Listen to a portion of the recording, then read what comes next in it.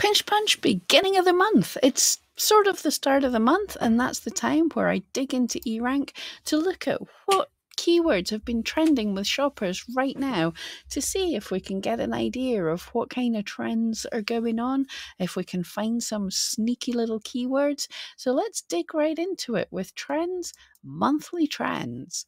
So I'm using my eRank Expert account. You can get this on all paid accounts and a more limited version on um, free accounts. So pop over to erank.com to get to get this. I think you get the first 10 or 100 or you get something on the free account. Someone let me know. I can't remember.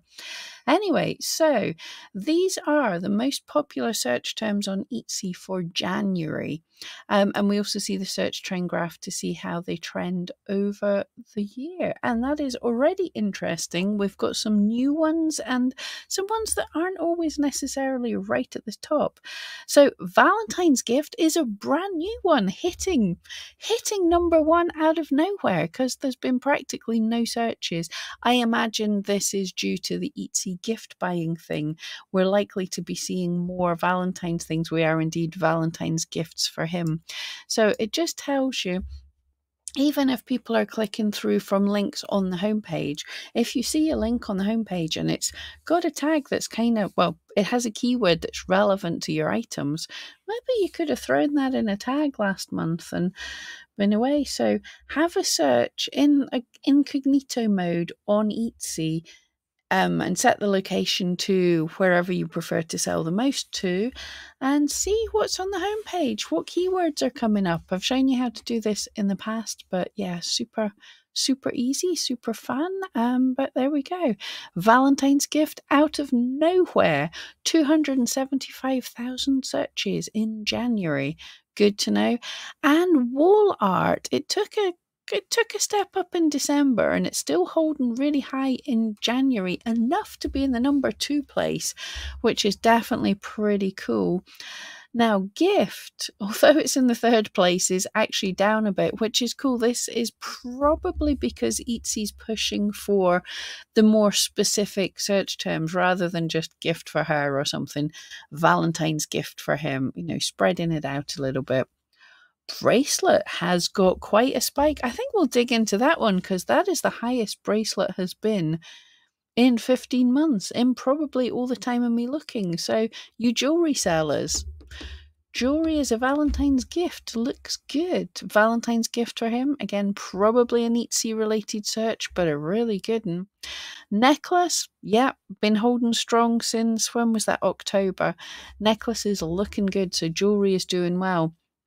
Stickers has been flying high for the past couple of years and still looking good. It took a step down change in September last year, but it's still holding strong. It still looks pretty good to me. Um, downloading things go away.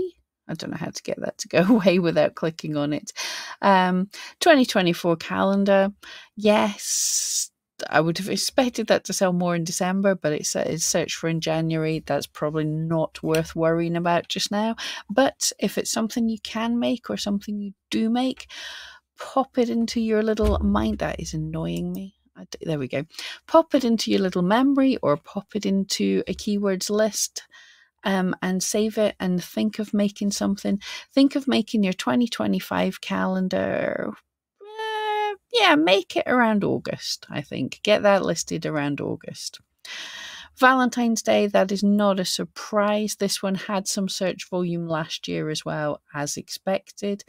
Ooh, Etsy Valentine home decor. Do you decorate for Valentine's Day? I suppose a nice romantic table settings that could be good.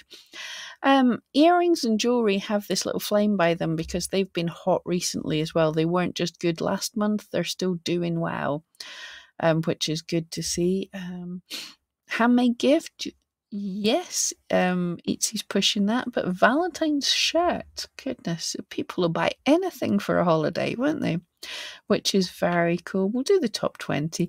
Valentine's Day gift for her. Interesting Valentine's Day gift for him is higher, which is still suggesting that there's more women searching on Etsy for male things rather than men coming and I bet you. Shall we do this? Shall we? I think we should. Let's just pop over to the homepage. I'm intrigued if Valentine's Day gift for him. I don't want to refresh data. Do we have on in the past week? I was wondering, yeah, if Valentine's gift for for her would have popped up in the top five. It's not. I was just having a think, going, but men are buying historically men buy later so that might be why that's um, a little further down. I don't know.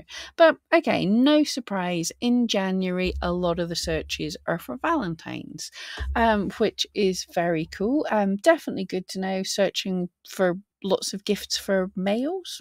That's very good to know for next year. This is the thing. Um, we want to look we want to be looking ahead but what did it? Yeah, I'm sitting on bracelet. Bracelet looks very interesting to me. Why are people searching for bracelet in such great numbers? Let's let's have a nosy and see if we can learn anything from this. I know we have plenty of jewelry sellers here, but even not, hopefully you'll learn something for how I do these things. Now, the first thing I'm going to do, this comes up with include near matches. Near matches will probably be bracelet and bracelets, plural. Let's see if we take that out. There is a bit of a difference, but it's not much.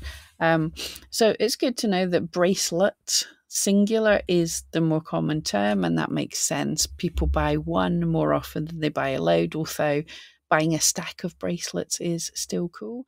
Uh, bracelets bracelet has been popular on Etsy over the past week. So, yeah, it's still holding strong.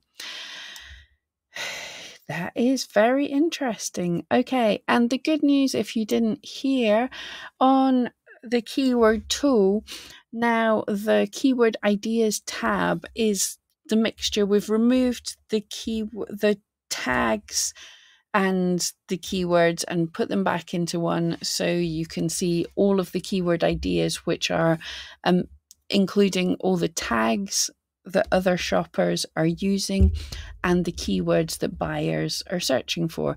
If you want to only see the tags like we used to be able to do, you can click on this little thing here and that'll sort by that. But I want to see the lot.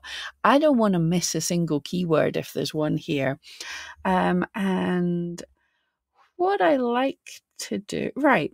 We're looking, I usually will search by this column here to look at the average searches, line them up and see what's good.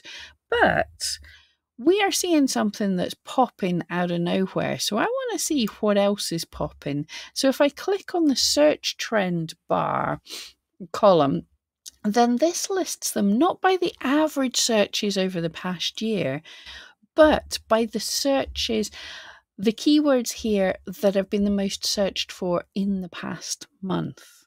So I think that's pretty cool. And look at that bracelet is higher than gift um, necklace. Now, bear in mind, this could be things that people are searching for, but it can also be the tags that people have in their listings. So, two people have had in a in a listing that ranks for bracelet, they also have the tag necklace. This could well be that they've got a set bracelets and necklaces. So you look at things and go, it's not necessarily always going to be relevant to what I what I'm selling, but it's good to see some things that okay, necklaces are doing well too, jewelry's doing well, earrings. So yeah, jewelry is doing well. Gift for her, although we've said this is this is down, it is still getting a lot, a lot, a lot of searches. It's yeah. Um, it gen it looks like yeah, it picks up for Mother's Day. So gift for her is still an okay tag, but I'm not mad on it. You want to be thinking of more more niche, but you can use gift for her as a tag and bear in mind that you might be getting seen in searches. You might be aiming for searches of like bracelet gift for her, geeky gift for her, cat lover gift for her. You know, it doesn't, you're not necessarily aiming for gift for her because there's like 5 million listings in the US for that at least. So, yeah. Okay, so here's here's where we're getting into some more crystals and charms are also trending big. Can crystals and charms be put on bracelets, a charm bracelet with crystals? Absolutely. So if that's something you sell and you've maybe not got something listed just now, these are popular kind of things. Look into that. Um, and gold is the top material. that makes sense. Um, now, even though it was higher in November, just the term handmade, people are still searching for handmade. It's still high up there. So make sure and stress not just using the tag handmade. I mean, handmade gold bracelet. Yep, that's pretty good. But in your photos, in your videos, show that it's handmade. Make people fall in love with not just the item, but they're buying it from you, the artist. I say this every month, it's so important. And for my vintage guys, yep, handmade bracelets are cool. Do you have a handmade crystal charm? Not a hand, a vintage crystal charm bracelet? You know, how can you put it all together? Um, now, yeah, here again, charm bracelet doing well, but also so vintage jewelry looks like it's on a high. Very good. And think about the stones as well. I mean, I am surprised that garnet isn't showing up more as that's the birthstone of January, but think February, March, April, what are the birthstones? Make sure you have them listed. Um, also, for bracelets, be thinking things like um, anniversaries. A pearl anniversary? Could someone buy a pearl bracelet? I I'm not up on all the the anniversary years, but hey, why not? People buy for these kind of things. Um, now here's here's where we get interesting. Things that are being searched for not bad just now that have a low competition on Etsy. A couple's bracelet that is such a cute idea. You can do couples, you can do best friends, you know, it's it's an idea to double up your sales as well. If people were going to buy only one and then they think, no, I'm going to buy one for you and one for me too. so that is pretty cool. Here's another one that pops out. Oh, there you go. If that's something you're into, that can be vintage, that can be handmade, but an evil eye bracelet um, is not as um, there's not as much competition out there. So yeah, we're just trying to squeeze in and oh, no, I have no idea what this even is, but fairly low competition because we don't know what it is. You would look and go, the average searches. Now, I wouldn't write out things with only 400 average searches a month because 400 is still pretty reasonable. You know, you don't have to live and die on one keyword. Your listing can get found for more than one keyword. So that's not bad already, but it's taken a spike 3,000 searches in January for whatever a nail bracelet is. That's kind of freaking me out. It's like a tooth bracelet. I don't know what it. Someone let me know what a nail bracelet is. Um, so I like to look down and see what's lower competition that's been searched for a string bracelet. Again, that gets searches every now and again. So it's not something that you're going to get like regular sales, but it springs up out of nowhere. I'd say that's not bad. A string beaded bracelet, I don't know. Uh, but you know, I, I don't know how a string. I know nothing about jewelry, but what can it tie in with the other things? Can you do a string charm bracelet, a vintage string bracelet, handmade, obviously? Now that is interesting. I'm assuming opal bracelet might be a little low down because our wonderful Jan has pointed out to me several times when I mention opal ring, which is very popular, that opals aren't very good to be used in rings because they're too soft. So I can't imagine they do well in bracelets, um, but they are pretty. So, is there a way you can recreate the look of an opal using something more more long lasting resin? Can you do that? Probably. Oh my goodness, there is. Can can you do that? Hermes bracelet? No idea what that is. Hermes is a used to be a terrible del- delivery company, so I've no idea where that's come from, but that's interesting. Always look into these things, see if this is something copyright.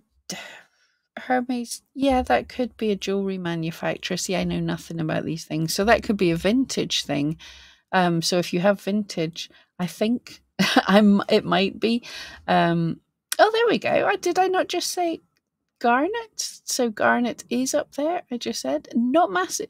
Interestingly, not massively high competition, which says to me that the other monthly stones might not be too high either. That is interesting. Um, oh, loving this one. For any of you handmade people, chainmail bracelet has just popped up. Um, just popped up with a thousand and a half 1,520 searches last month. Chainmail is definitely pretty cool, and you could use it for a lot of other things that would fit in. All the cosplay things are absolutely huge just now, and you can add all sorts of stones and things to chainmail as well, and you can do all sorts of things.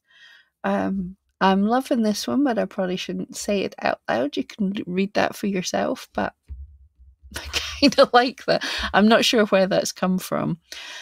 But yeah, anyway, so I think if you're doing jewelry and you're doing bracelets, there's a lot in here to dig into to look at what's picking up.